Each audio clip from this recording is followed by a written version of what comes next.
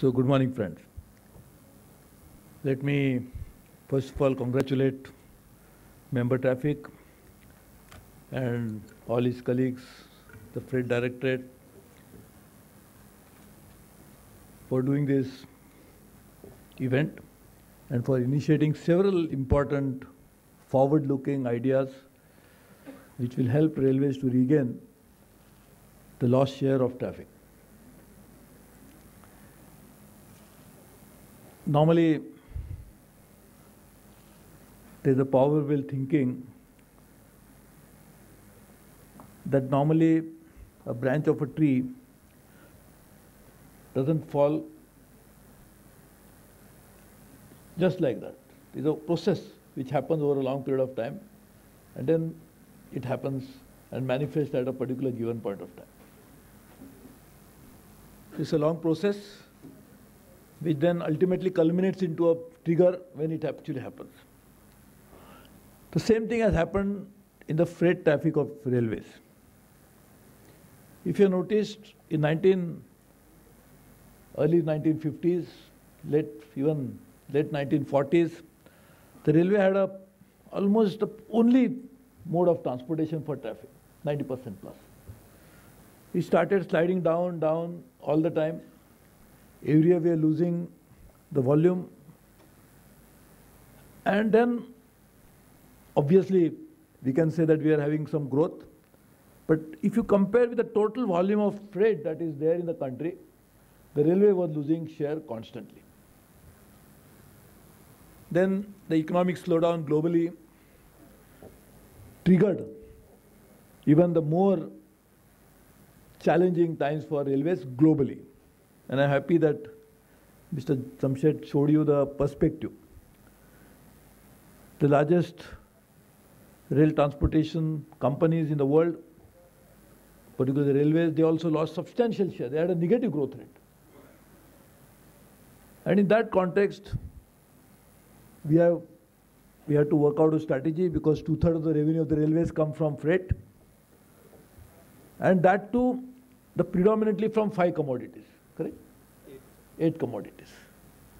And therefore, when we have these challenging times that globally there is a slowdown, and when the global slowdown, it affects the transporter first. Because imports and exports, when imports and exports get affected, it also affects domestic trade and domestic business. And the biggest sufferer is the transporter. Because what is the transporter job? It carries raw material to the manufacturing point and uses manufactured products to the market where there's a consumption, whether it's domestic market or global market. Why China has a negative growth rate for freight and where it has impacted.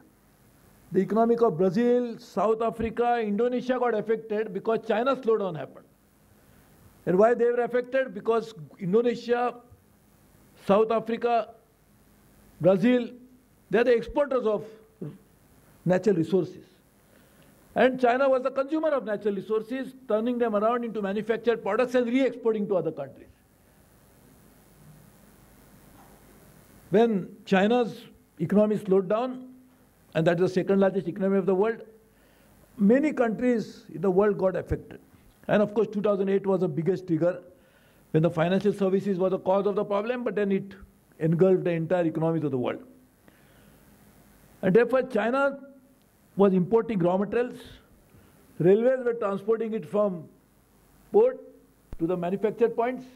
When the steel was made, then there was also from steel was made, the steel would be transported from steel plants to the heavy metal manufacturing within the China. That was again transportation. When it is made, either it will be used in China, so it will go domestic market, or it is exported, it will go to the market. So China got affected. So people must understand the perspective that transporter is essentially transports the products which comes to the market. Transporter cannot create market. Transporter job is to transport something, a commodity, a product which is available in the market. And therefore, when there is a macro level decline, it is bound to affect the transporter.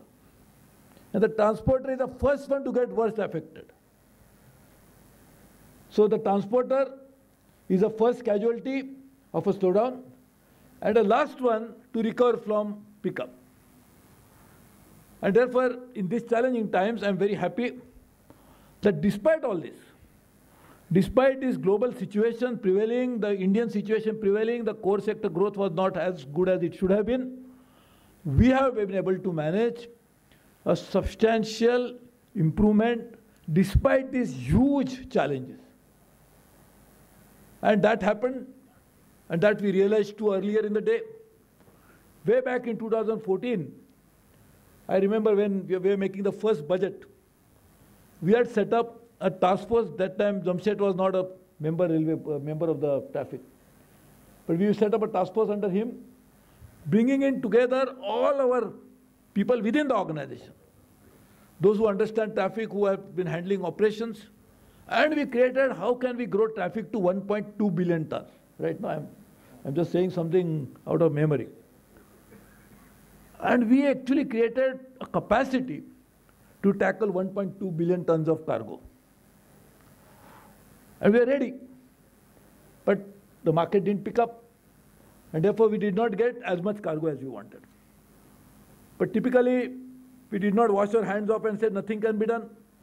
We again pulled our socks back and said we'll try to do something. So we started changing policies. One is the volume, but in the entire freight market, but to gain share of that freight market and to regain it from where we are lost to roads and in some cases even to air, smaller portion, we decided to come out with policy enabler. And this not the first time we are launching it. In the last two years, continuously we have been changing our freight policies.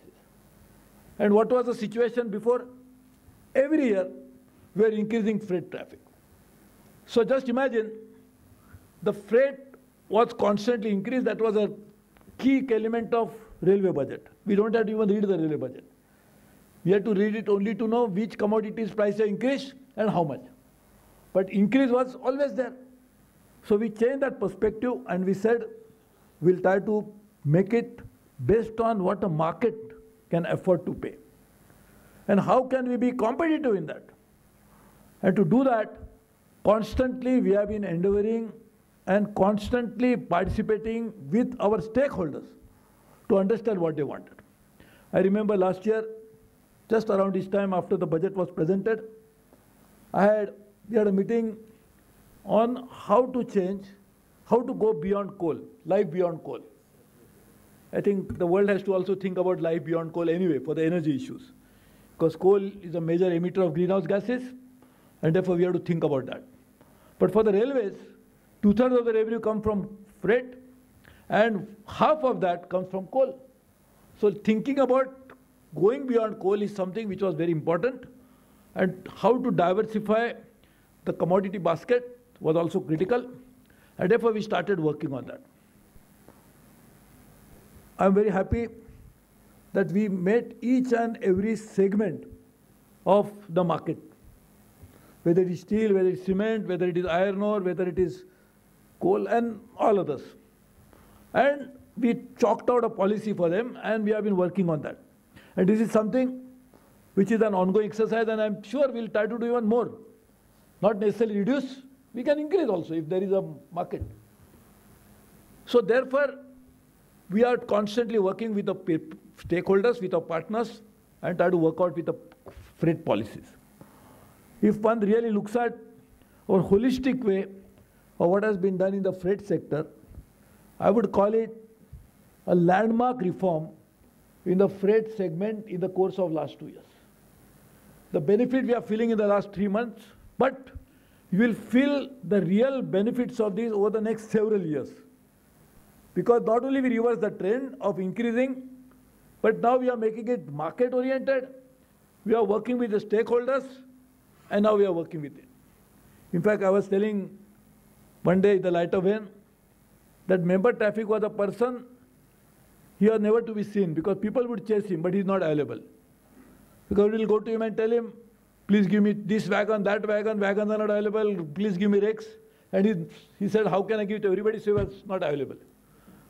Now our member traffic now, he is after people in the marketplace, finding out from where we can get a cargo, and therefore from invisibility to visibility in terms of market uh, presence.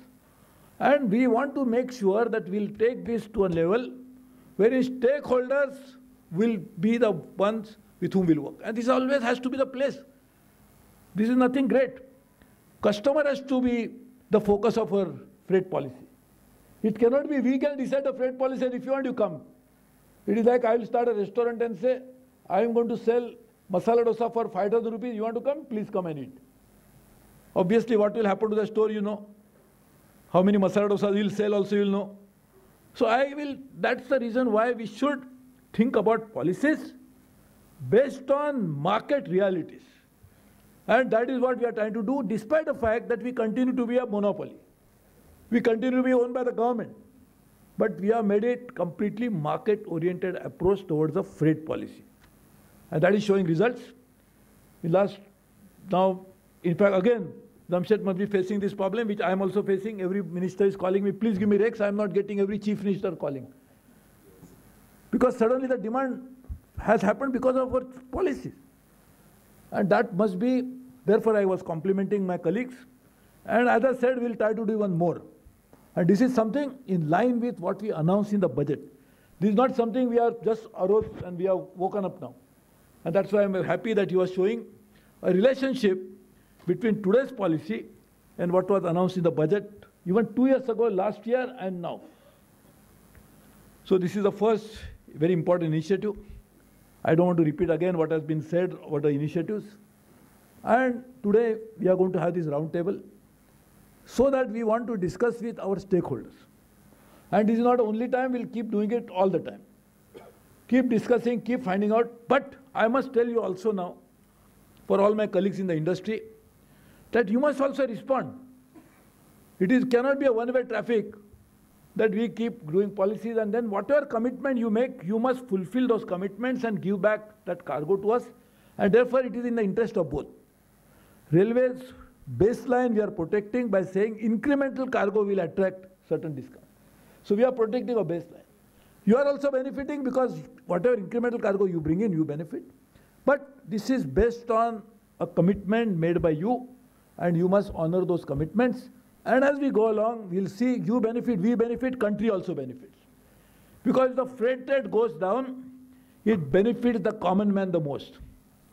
The freight is also one of the component of the end pricing of any product. Even food products will not imagine this policy that we are doing today will impact food prices. Because ultimately all this what we do goes into something which eventually is consumed by the end consumer. So maybe we are saying, what, how is it con concerned? Please explain to me because there are experts in India will tell you. Uh, a steel is required to make food processing.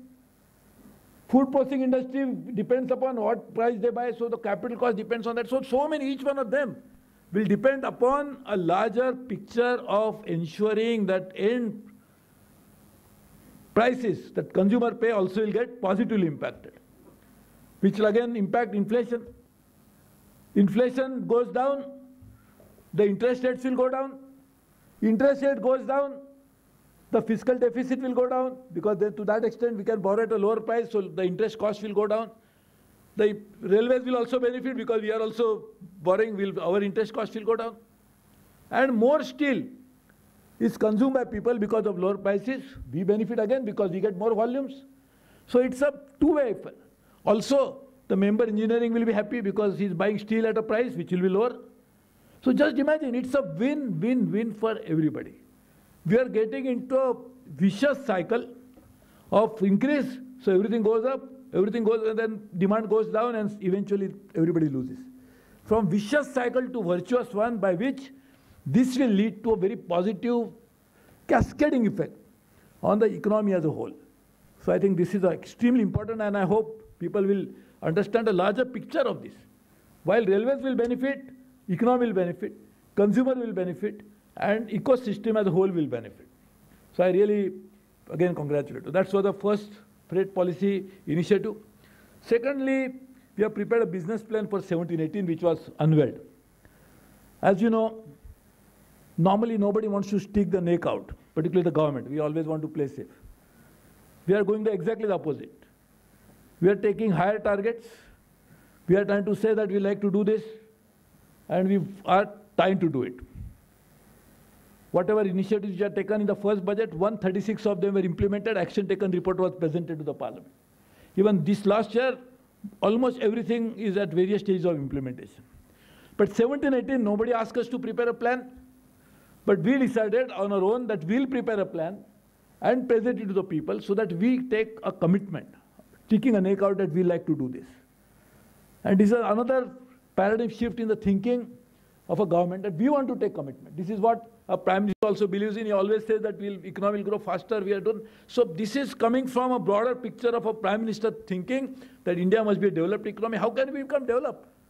If we keep thinking about, I don't want to take risk. Because if I take commitment, I have to fulfill. I know in the parliament, so many times some bureaucrat will think that ministers should not make a commitment to the parliament because that becomes a assurance to be fulfilled. So I learned it too early that this is my ninth cabinet responsibility. Because when I was presenting my first as a minister, they told me, don't say it becomes assurance. I said, how it becomes assurance? They said, if you give assurance, it has to be fulfilled. Then I said, okay. So now I make 10 assurances in every question hour. Why not? You have to fulfill the assurance. What is the purpose? Shy away from assurances or give more assurances. So telling me, so now we have even changed the way we answer the questions. We have to answer, we have to give this. So this is the new thinking that we are trying to bring in and making sure that we'll honor it. And therefore, this is a second plan.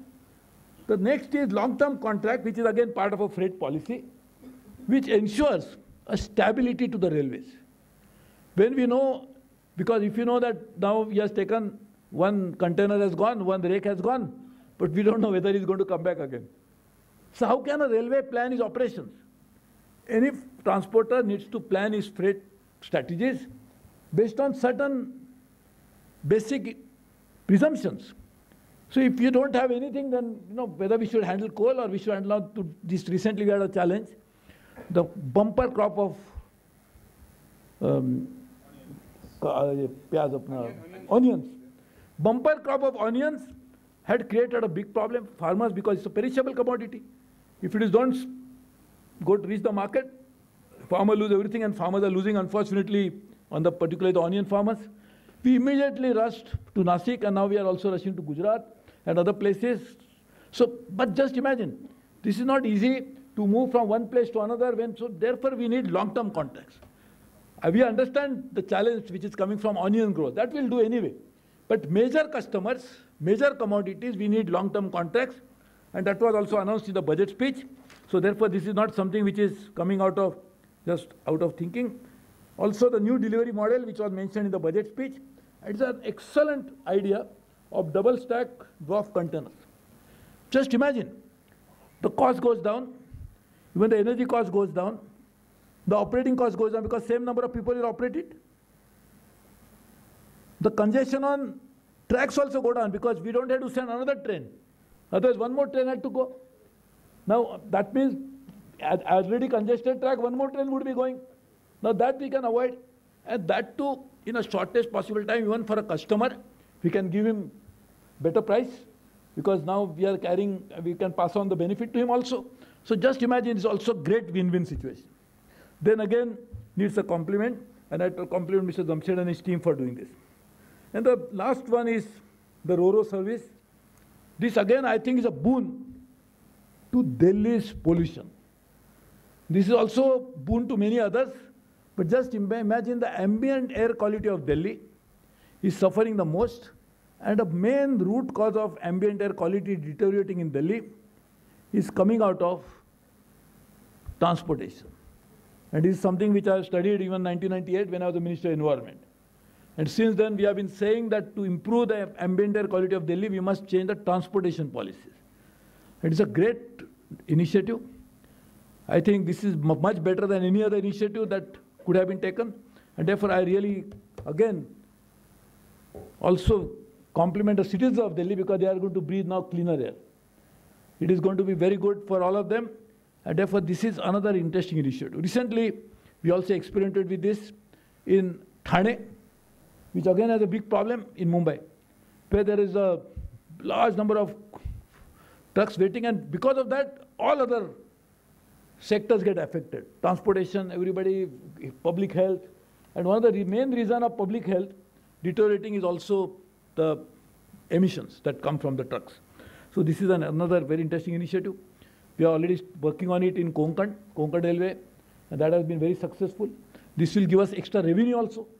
This will also give us benefit to everybody. So this, each one of these initiatives is going to benefit the railways.